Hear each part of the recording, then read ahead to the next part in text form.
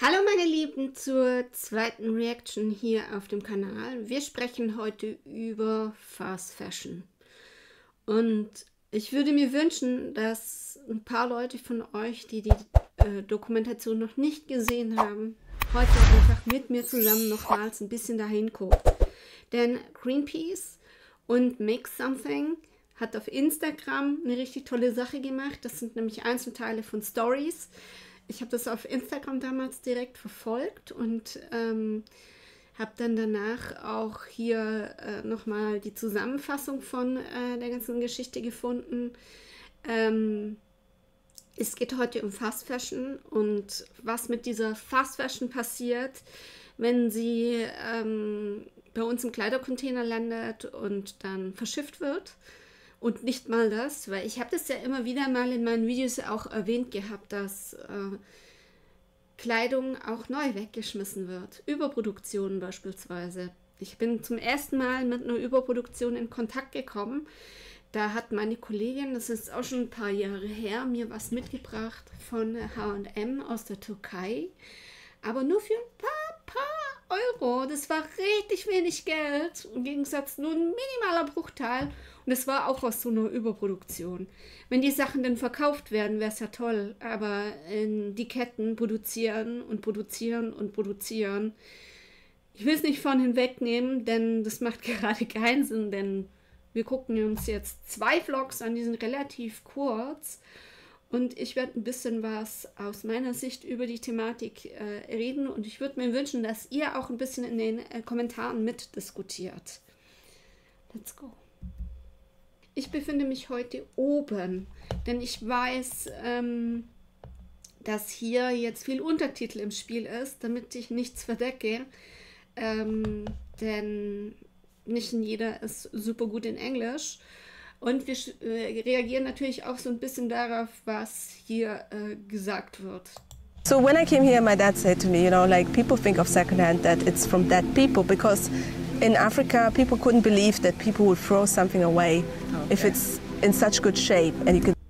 Und das ist es. Ich habe jetzt gerade und da kann ich vielleicht eure Hilfe äh, in Anspruch nehmen. Ich weiß nie so richtig, was ich mit alten Textilien machen soll. Also bei mir ist es so, ich habe ein T-Shirt, das mache ich so jetzt nur mit T-Shirts. Ich habe ein T-Shirt und wenn das nicht mehr so zum so tragen geeignet ist, dann wird es ein Schlaf-T-Shirt und irgendwann hat es halt so viele Löcher, äh, dann mache ich entweder einen Lumpen draus. Momentan brauche ich keine Lumpen mehr.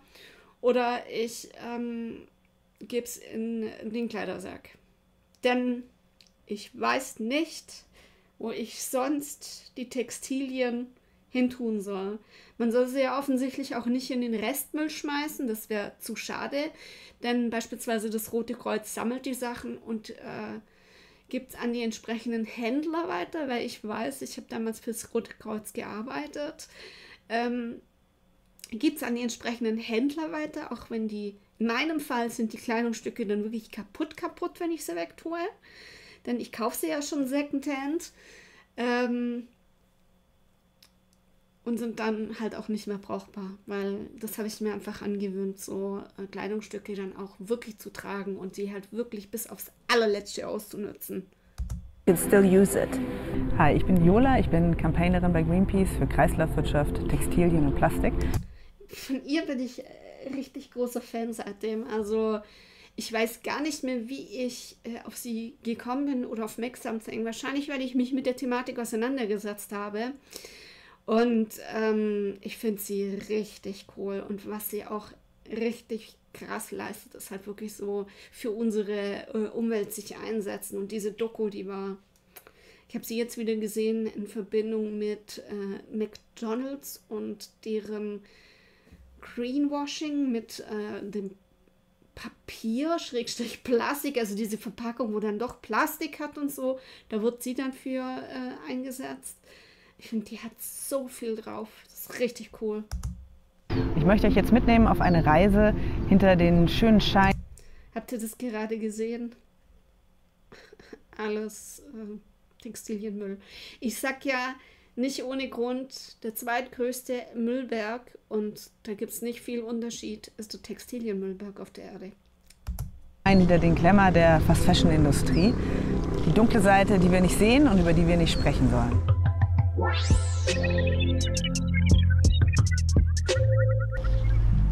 Wir starten unsere Reise in Tansania und zwar genauer im Hafen von Dar es Salaam.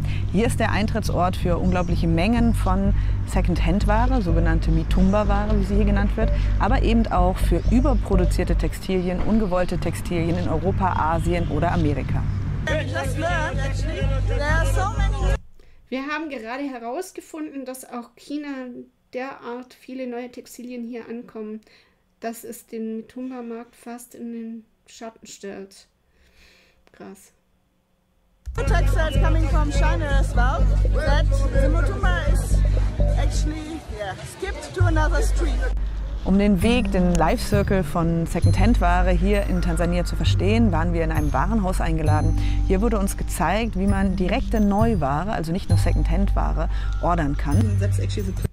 Das hier ist der Ort, von dem die Händler des Mitumba-Markts ihre Kleidung beziehen. Place uh, where the people on the Mitumba market get their dresses from. That's a found of today, Aldi.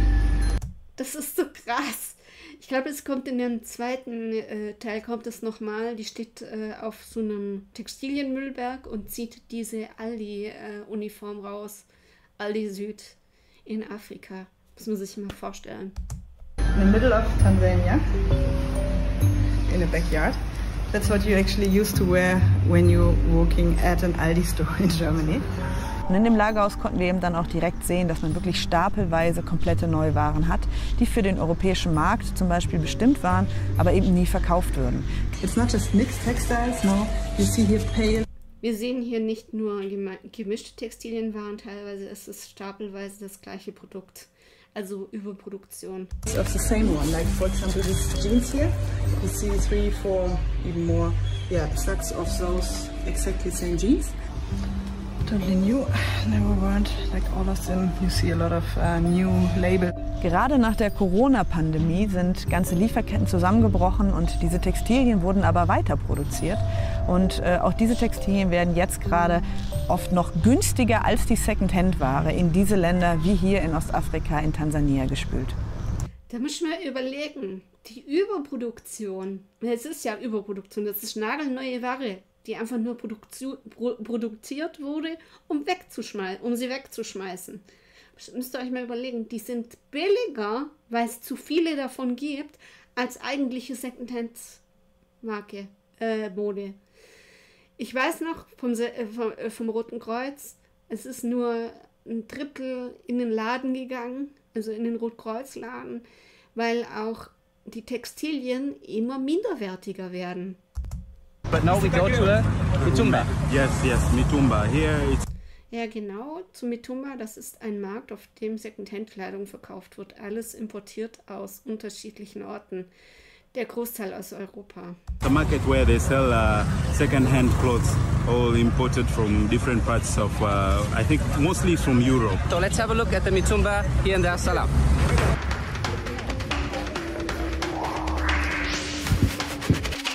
...89 Millionen Kilogramm Secondhand-Kleidung kommt pro Jahr in Tansania an.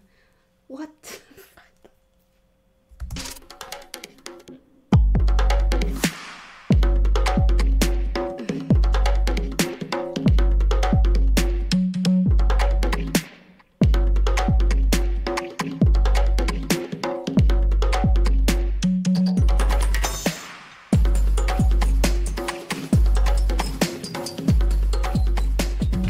bunt und voller Kleinunternehmer. Jeder von ihnen ähm, hat ein großes Risiko, denn sie können meistens maximal ein bis zwei von diesen Ballen an Secondhand-Ware an Mitumba kaufen. Und hier ist es eben, dass sie nie wissen, was drin ist. Es ist also ein Glücksspiel. Es kann sein, dass ich etwas weiterverkaufen kann. Es kann aber eben auch sein, was sich in den letzten Jahren verstärkt hat, dass wir schlechte Ware, dass wir stellenweise sogar kaputte Ware haben, die untergemischt wird.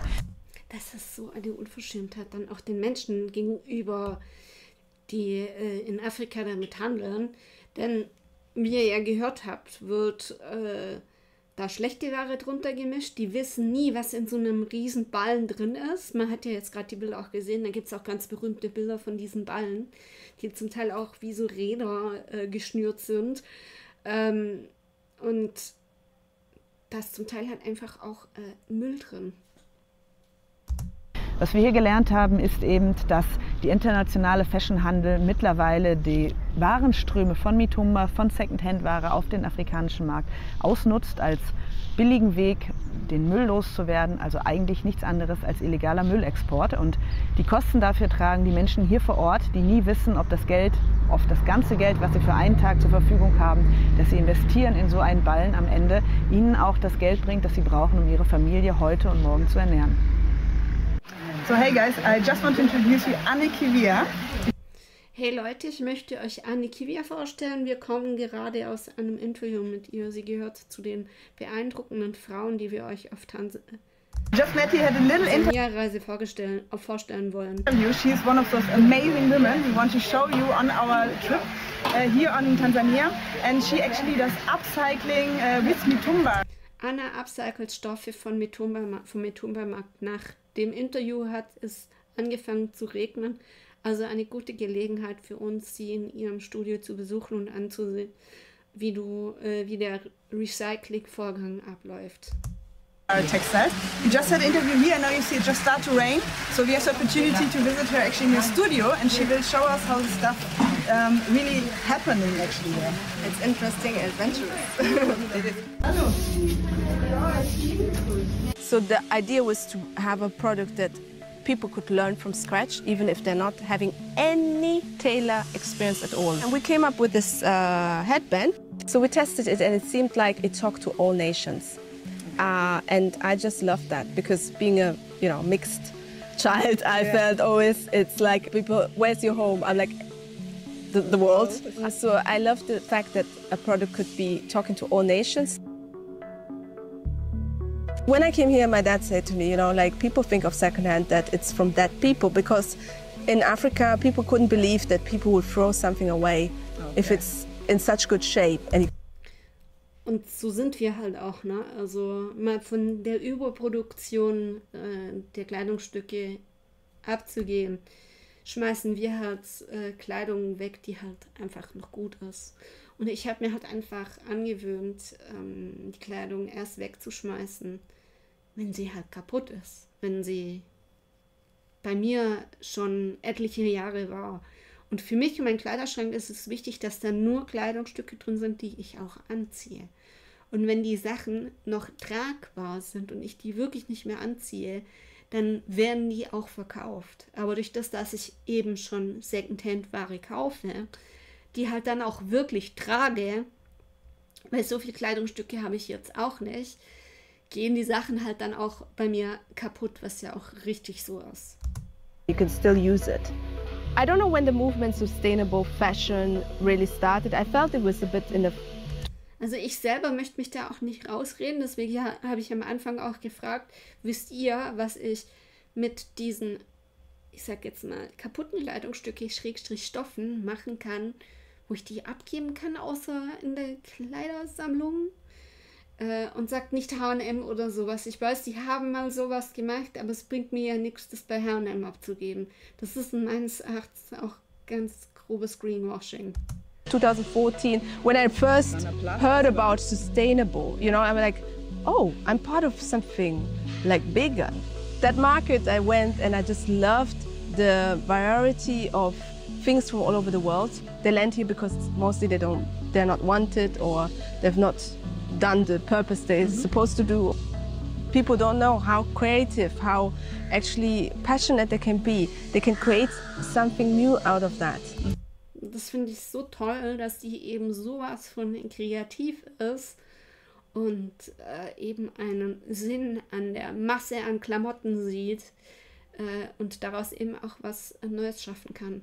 And then suddenly the world that had abandoned them finds beauty in it. Isn't it beautiful? It's so amazing actually. If you buy one of gambling, those Yeah. bags, It's, it's gambling, right? Uh, you never know. The quality is not consistent, and um, I think also the people that are involved, you know, they, they they make a living out of it, uh, but they struggle with that because imagine you buy a bag, and this is all your money you have for today, and then you open it and you find that half of it you can't sell. Uh, it's heartbreaking, you know. Uh, when I'm with vendors and I go out to the markets and they know me and they even help me to collect and they say, look, don't look what I've got today. It's das ist halt, wie gesagt, äh, ich habe auf dem Zweitkanal äh, eine Reaction zum Thema. Ich weiß nicht, ob sie zu dem Zeitpunkt schon draußen ist, äh, wo ihr das jetzt guckt, zum Thema unseres Recycling-Systems gemacht. Da hat die Alicia Joey ein Video gemacht, da habe ich darauf reagiert. Und das schneidet da so ein bisschen mit ein, denn es wird ja im Endeffekt äh, Müll, äh, also kaputte Kleidungsstücke oder Sachen, die halt absolut gar nichts mehr taugen, darunter gemischt. Nothing there. You just said a vendor got a got a bulk and he can't sell half of them because they are just don't suit the market, they are broken. So what happens with this? There is no recycling for textiles. I mean, no. not just not in Tanzania, also I, nowhere because they are mixed. Yeah. Actually, in the end, they land up here and they pollute the country. I would say so, yes. Uh. Das ist das Ding. Wir Europäer sind so arrogant und denken, ach, weg da. Ich packe äh, meinen Kleidersack voll und schmeiß dann die Altkleidung weg und ich sehe sie dann nicht mehr. Und das ist dann, das, das ist das allergrößte Problem, weil wir halt einfach nicht sehen, äh, was daraus wird. Und dann gibt es immer noch die, die trotzdem immer wieder neue Kleidung kaufen und äh, dann merken, ach, das kann ich ja noch Secondhand verkaufen. Klar, ich bin jemand, ich lebe seit Jahren von solchen Menschen, ne? also seit Jahren. Und auch ich muss jedes Mal sagen und bin erschrocken, was für eine Qualität die Sachen haben. Ich sag's ja immer wieder. Ne? Also ich bin wirklich erschrocken. Ich habe Athletics-Schuhe für äh, 4 Euro oder 3 Euro gekauft. Secondhand. Die haben ein bisschen Verfärbung gehabt und schon eigentlich für die Allgemeinheit hatte der Schuh keinen Wert mehr, also 3 Euro.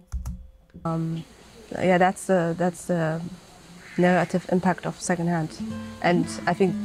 Das ist halt alles Müll. Das ist alles Müll. Wenn ich das allein schon wieder sehe, äh, kriege ich Herzschmerz davon. That's where we need also borders and limitations and regulations, not just from Tanzania, worldwide. -hmm. What are we doing with the fabrics that we can't uh, recycle? You know, what are we doing with polyester that is, you know, so uh, harmful uh, to the environment? To recycle that in a way that it can be reused. Do you have any advice for, for European people, actually, you know, with your background of uh, mm. as, as, growing up in Germany? How can they start, or what would be a good step to get a bit of a greener closet, you know, start to, I don't know, renting, sharing? So do you have any advice as a professional designer even? So I feel confidence, you know. Look, I mean, I wear a 10p uh, uh, Shirt. das ist so geil, 10 Cent uh, Shirt hat sie an. Uh, und so gehe ich halt inzwischen auch vor. Ich habe gestern oder am Sonntag bin ich mit meinem Vater unterwegs gewesen und wir waren bei so, wir haben so geguckt bei also unserem teuersten Laden an der Stadt. Da waren Kleidungsstücke für über 500 Euro. Äh, im Schaufenster. Ein T-Shirt war das, glaube ich.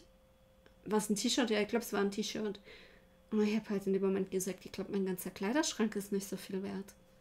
Naja, also vielleicht schon ein bisschen mehr, aber um das geht es ja nicht. Es geht ja darum, was für eine Qualität hat das Kleidungsstück, wie schön ist es, wie gut sitzt es, welches Selbstvertrauen, wie sie gerade gesagt hat, hast du in das Kleidungsstück. Und das geht's doch eigentlich. For an interview like with you, I mean, and I'm not feeling any lower or unconfident or you're gonna look at me or so. No, you are the one that makes the standard. That's the thing. You are the one. I mean, that's an attitude I just love so much to hear, and I think that's really yeah. something Europeans or maybe the world has to learn. Wenn ihr mehr Hintergründe über die Geschichten hören wollt, die wir hier kurz angerissen haben, dann folgt uns auf unserem Make Something Kanal. Dort findet ihr Stories, Posts und Hintergründe zu jedem dieser einzelnen Aspekte. Und natürlich könnt ihr uns auch begleiten die nächsten Tage und Wochen, denn wir werden durch äh, Tansania reisen, werden durch Kenia reisen, auf den Spuren der Mitumba-Ware, auf den Problemen der linearen Geschäftsmodelle, aber vor allem auf den Spuren der wunderbaren Frauen, die eben hier die Alternativen zu den linearen Geschäftsmodellen aufbauen und uns zeigen, wie es eigentlich besser gehen könnte. Ich werde euch auf jeden Fall den Make Something Kanal unten in die Infobox packen. Ich glaube, da ist jetzt schon länger nichts mehr passiert. Ihr müsst nach den Sachen suchen, weil äh, die sind ja schon ein bisschen älter, aber man findet sie. Bleibt dabei, wir freuen uns. Macht's gut.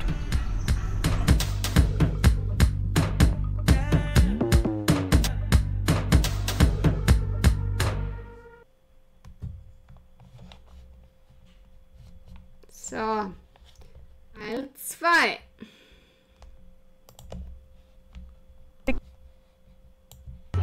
Hi guys, you always wanted to know what conscious collection means? This one, and it ends up here. Und ihr wisst, was Conscience Collection heißt, ne? Also Greenwashing. H&M, that's what your conscious collection means. Und das habe ich, glaube ich, äh, gesehen auf, äh, auf äh, Instagram. Und äh, wie entsetzt sie halt davon war. Das, guckt euch das mal an. Ne, das ist alles Stoff. Das ist alles verfluchter Textilienmüll. Hi, ich bin Viola, ich bin Campaignerin bei Greenpeace für Kreislaufwirtschaft, Textilien und Plastik. Ich möchte euch jetzt mitnehmen auf eine Reise hinter den schönen Schein, den Glamour der Fast Fashion Industrie. Die dunkle Seite, die wir nicht sehen und über die wir nicht sprechen sollen.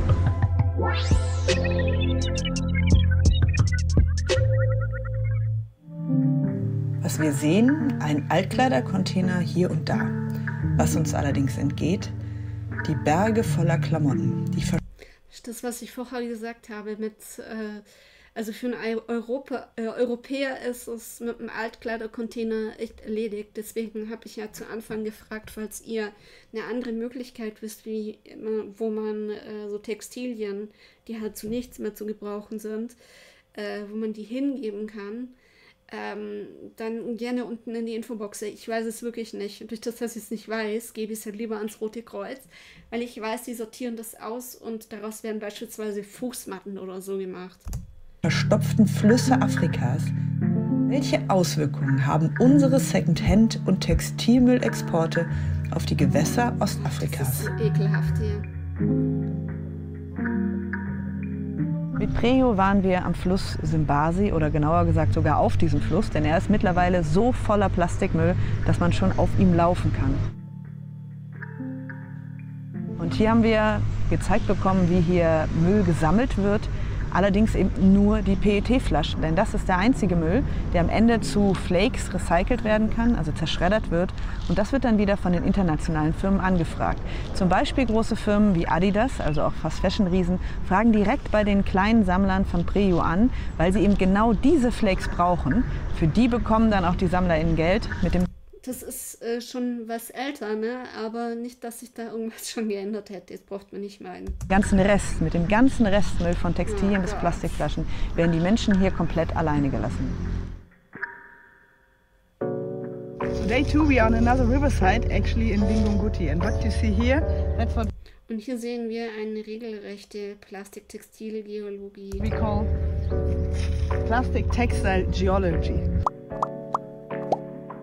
And the people are even supposed by the government to bring die Menschen bringen auf Anweisung der Behörden ihren Müll hierher. The textile or to bring the rubbish here, because if there's a rain season, denn wenn der Regen kommt, füllt sich dieses äh, Fluss mit großen Wassermengen. Um, this ja. river will be full of water and the stuff get.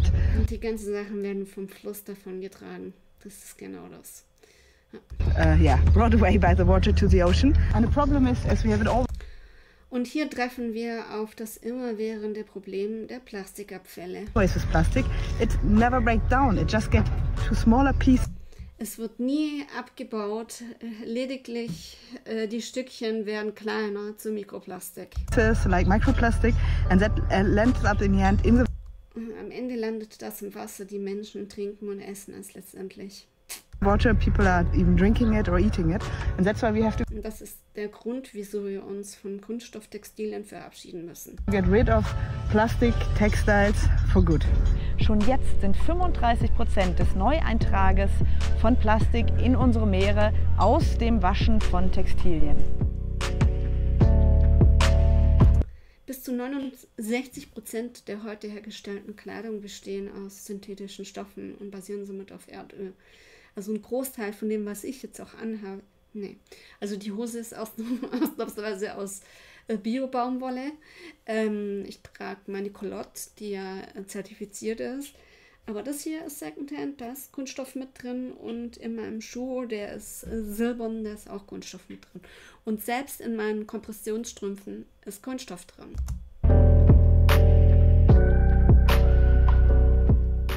An der Namanga Border sind wir den Mitumba-Textilien von Tansania nach Kenia hinweg über die Grenze gefolgt bis nach Nairobi. In Nairobi vermischen sich dann unsere Secondhand-Textilien auf dem Kikumba Market. Das ist der größte Secondhand-Markt des Landes.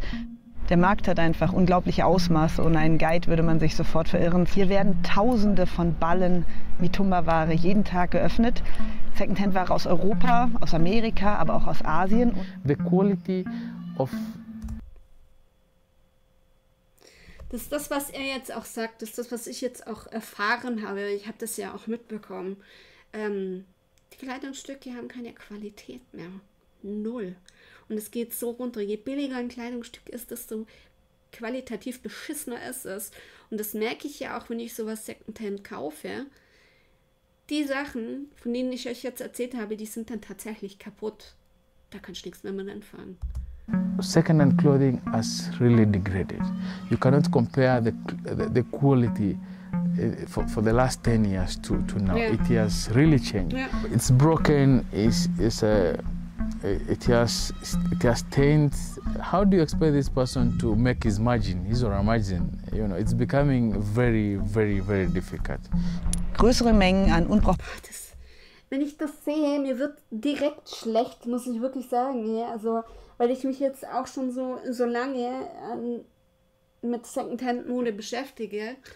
Ähm, du wirst vor allem so als Einzelner wirst du nicht Herr über das Problem. Ne? Also, Textilien werden dann einfach in den Nairobi River geworfen. The Nairobi River is passing exactly at, at, at the center of Gikomba market. Then uh, thousand and thousand of textiles are thrown there. That's where the textile end up. Ihr seht hier die Endstation für Kleidungsstücke. I have never seen Ein Ort wie dieser habe ich noch nie gesehen. a place like this. You literally walk on textiles. Der Boden besteht buchstäblich aus Textilien. Guckt euch das mal an. Das ist einfach krank. even in the market you see layer of layer of layer of textiles. Is, I've never seen something like that.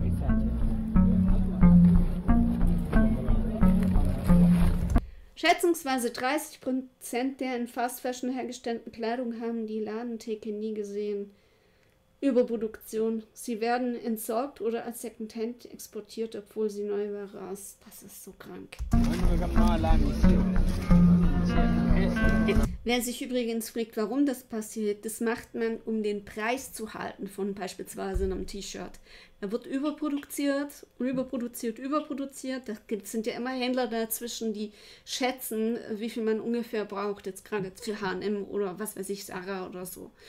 Und äh, was dann zu viel ist, weg damit.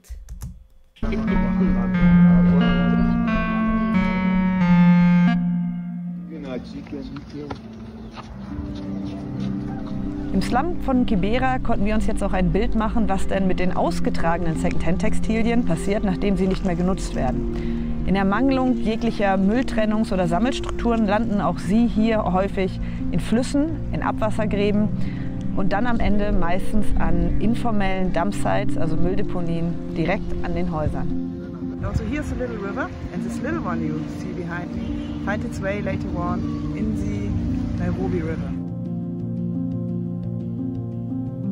Der Nairobi River fließt, schlängelt sich sozusagen durch den Kikumba Market. Wenn dann der nächste Regen kommt, wird mit dem Nairobi River dieser ganze Plastikmüll, diese Plastiktextilien weggeschwemmt und landen am Ende im Indischen Ozean.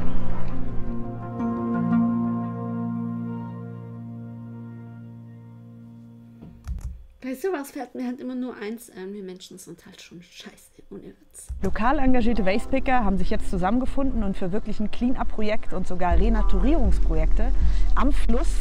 Und sie schaffen es sogar, informelle, lokale Mülldeponien komplett abzutragen. Limo, limo, Limo. It's limo. Limo is uh, abbreviation of uh, Lakisama Environmental and Waste Management Organization. It's a community-based organization. We are trying to work on on a program that will see this river clean again. We have some groups that we have already identified.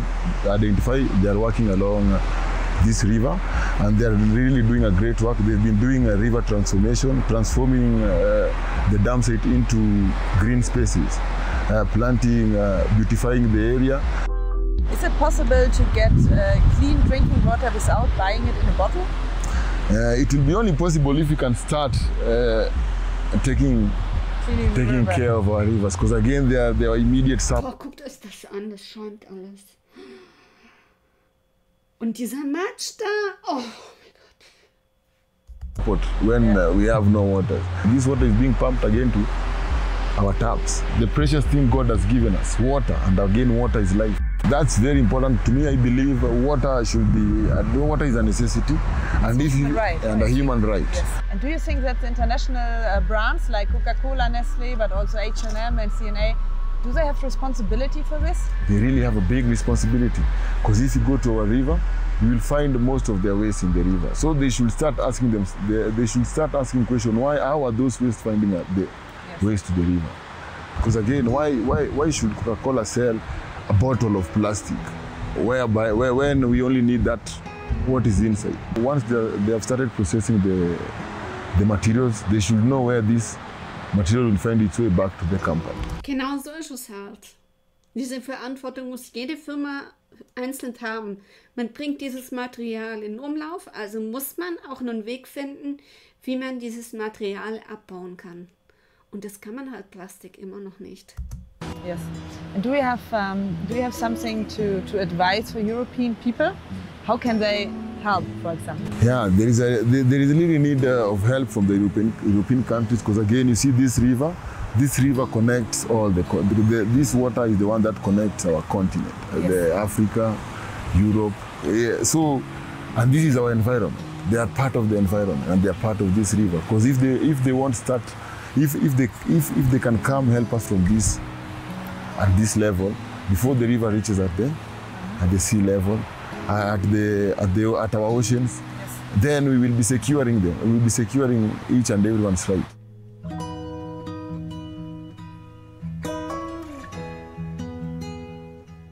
Was ich hier gelernt habe, nicht die Menschen vor Ort sind schuld an diesem Chaos. Es sind die internationalen fast-moving Consumer Goods Firmen, wie die Fast-Fashion-Industrie.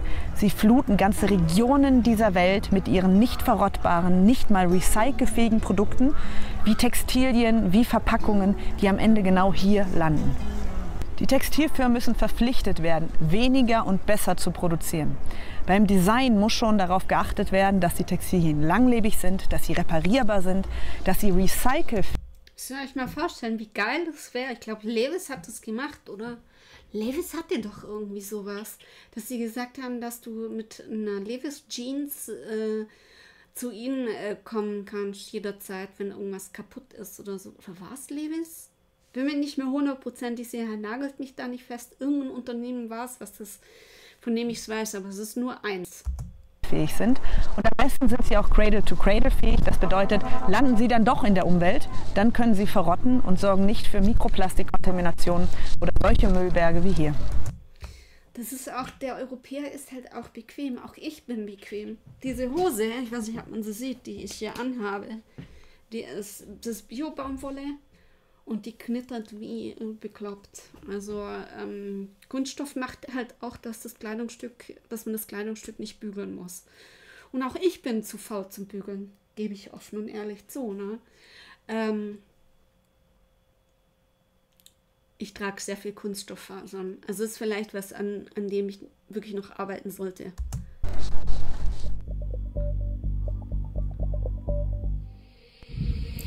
Wenn ihr mehr über unsere Reise hinter den schönen Schein der Textilindustrie erfahren wollt, dann folgt uns doch auf unserem Konsumwende Instagram-Kanal von Greenpeace auf Make Something. Da findet ihr dann auch die ganzen Geschichten und Fakten hinter den Stories, die wir hier nur ganz kurz anreißen können. Und auf YouTube geht es in der nächsten Folge hier dann um die Wastepickerin, Upcyclerin und Umweltaktivistinnen, die sich hier mit Mut, Entschlossenheit und unglaublicher Kreativität gegen die Müllflut der internationalen Fast Fashion Konzerne stemmen. Bleibt dabei.